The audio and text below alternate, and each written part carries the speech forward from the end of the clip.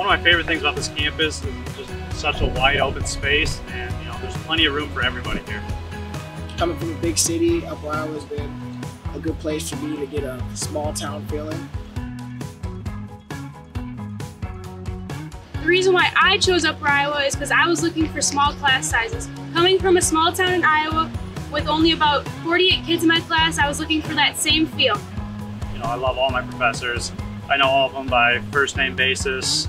Um, we can go stop at their office at any time. You really feel like you're just not a number, you're someone that they actually care about.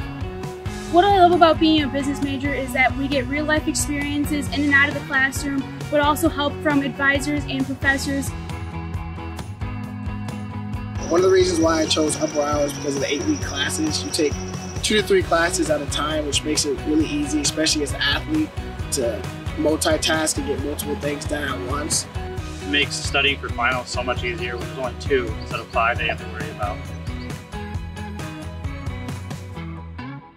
For me, I play football and we have state-of-the-art facilities, but most importantly, we all play in the NSIC, which is the most competitive D2 league of the nation.